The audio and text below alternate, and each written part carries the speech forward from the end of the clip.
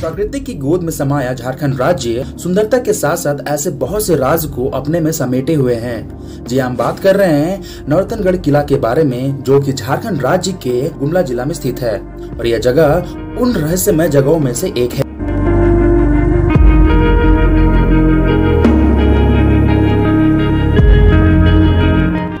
नौरतनगढ़ का निर्माण छोटा नागपुर के नागवंशी शासक दुर्जन साल द्वारा कराया गया था। और आपको बता दें कि ये राजा छियालीसवे नागवंश के वंशज थे।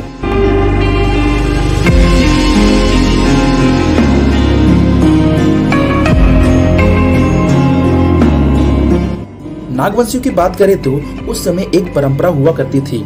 वे प्रजा से किसी प्रकार का टैक्स वसूली नहीं करते थे, जिसकी वजह से इनका गढ़, यानी किला, उतना आलिशान नहीं हुआ करता था।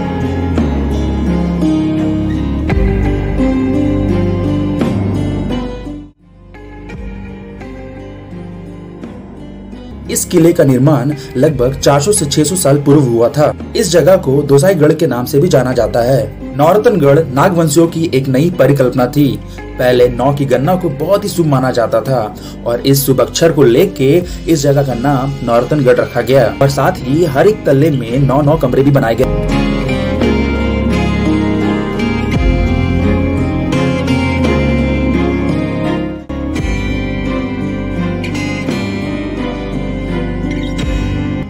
आसपास के लोगों के मुताबिक यह किला पाँच मंजिला हुआ करता था। यहाँ पर आपको बहुत सी ऐसी चीज़ें देखने को मिलेंगे जो कि आपको यहाँ जाने के लिए मजबूर कर देगा।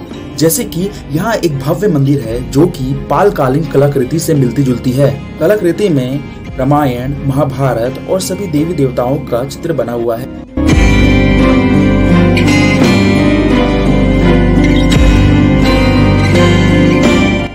और भी जगह है जो आपको देखने को मिलेगी। जैसे किले की सुरक्षा के लिए खाई, तालाब और जेल इत्यादि